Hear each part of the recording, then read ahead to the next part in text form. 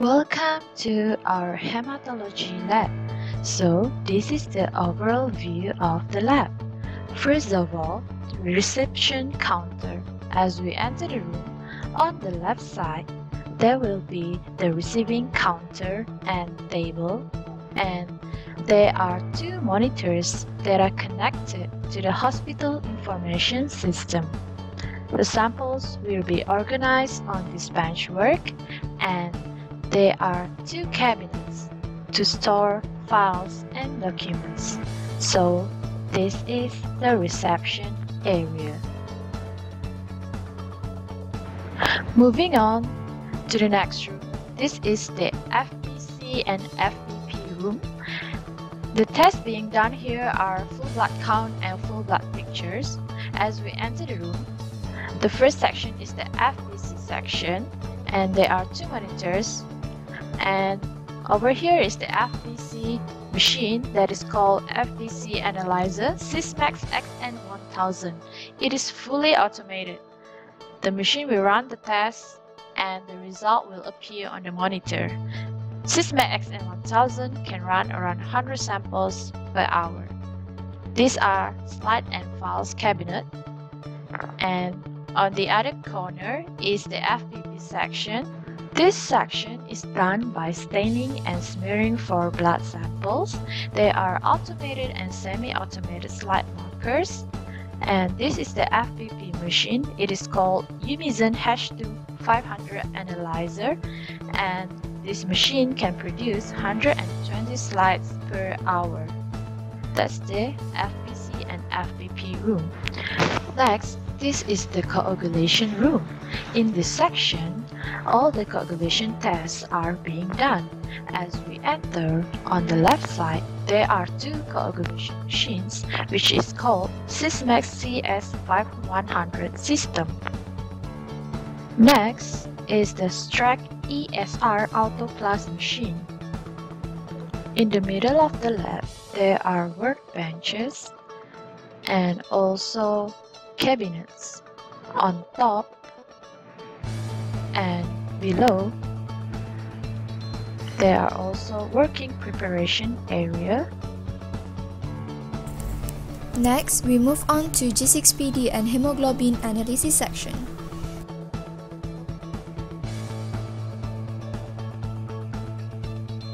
There are two main tests carried out in this section, which are fluorescence spot test FST and HbA1c test. The purpose of FST is to screen the presence of G6PD enzyme in the newborns. It can also help in assisting the physician to find the cause of hemolytic anemia. The instrument involved in fluorescence spot test is Spectroline, which consists of UV lamp and fluorescent analysis cabinet. If the sample appears fluorescent under UV light, then the patient has adequate level of G6PD enzyme. Meanwhile, if the sample does not appear fluorescent, then the patient has G6PD deficiency.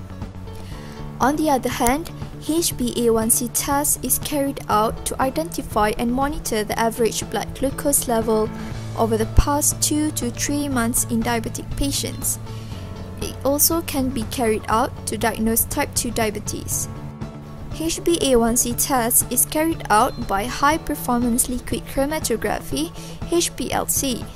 The instrument involved is Adams A1C HA8180V which is a fully automated HPLC machine that can detect the presence of HbA1c quantitatively.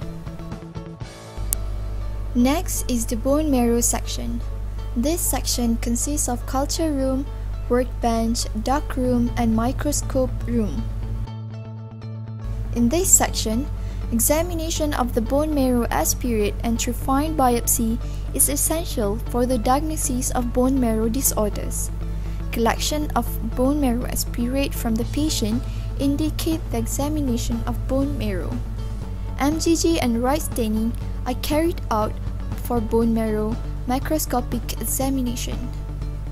For further tests, bone marrow sample are used to do cytogenetics and FISH tests. Culture room with biosafety cabinet class 2 is used for cell culture to investigate the bone marrow disorder in cell lines. Meanwhile, the dark room is usually used to carry out FISH fish study. Next, we move to flow cytometry section.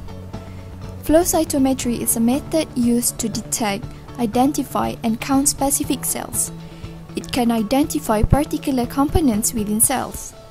Example of tests that are done by flow cytometry are reticulocyte count, CD4 count, HLA testing, platelet function test, immunophenotyping, and PNH investigation. There are two flow cytometry machines placed in this section. Using these machines, cells are suspended in a liquid stream and passed through a laser light beam in a single fashion. The interaction with the light is measured by an electronic detection apparatus as light scatter and fluorescent intensity.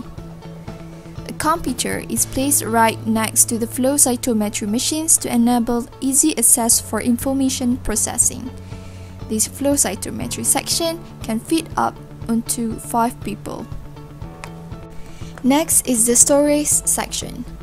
It consists of three storage rooms which are cold room, chemical room and common room. Cold room has the function to store reagents and patient sample. It is divided into two compartments which are 4 degrees Celsius compartment and negative 20 degrees Celsius compartment. The 4 degrees Celsius compartment normally dedicated to store patient samples such as marrow aspirates, blood and plasma along with certain reagents that required to be stored under this temperature. Meanwhile, negative 20 degrees Celsius compartment is dedicated to store patient serum and urine as well as feces if requested upon fecal or blood tests. Next, we move on to chemical room. This room is provided for chemical reagent storage purpose. This room is equipped with shower station, sink and fire extinguisher for safety purpose. Each type of chemicals are segregated into different cabinet to prevent any hazardous chemical reactions. Each cabinet should be labeled with its own hazard level. Spill agent which are stored within the spill cabinet is also provided to treat chemical spills within the storage room and laboratory.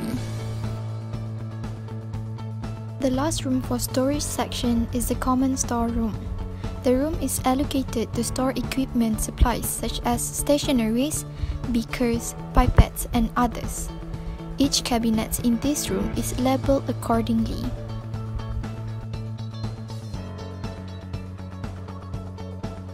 The laboratory is also equipped with various facilities. One of it is the on-call room. This room is provided for staff to rest upon their on-call duty.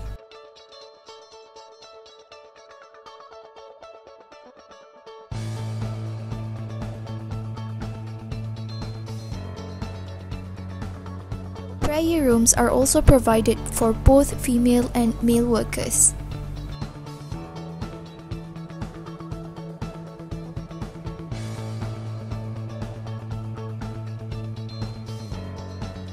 Next to the prayer room is a toilet for the staffs.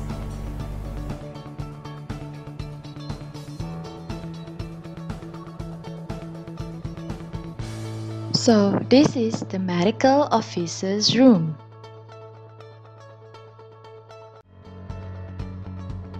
Next to it is the head of department's room.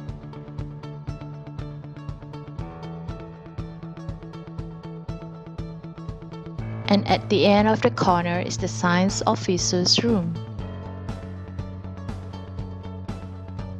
At the opposite of these three rooms, there is the pantry room.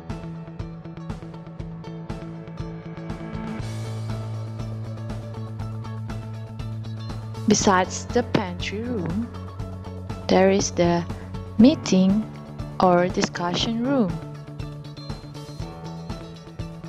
There's a long meeting table which is surrounded by cabinet.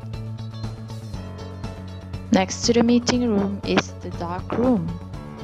Dark room are used in the examination of bone aspirate for cytogenetics testing, especially for FISH tests.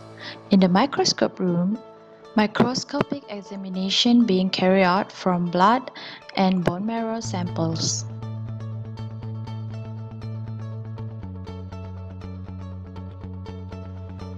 This is the locker room. It is used to keep personal belongings.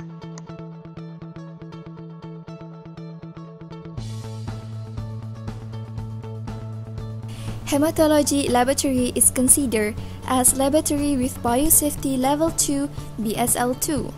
There are a few safety measures taken upon designing this laboratory. Firstly, the laboratory is built with two emergency exits located at the back of the laboratory.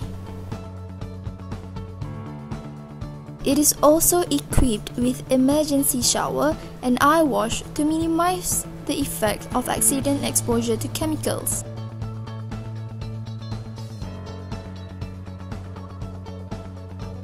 Spill agents are also provided to treat small chemical spills. If the chemical spill is in a large amount and it is a toxic chemical, all occupants of the laboratory should be evacuated immediately.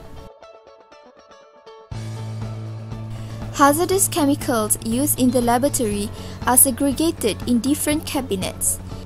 Each cabinet are labeled with its respective hazard level.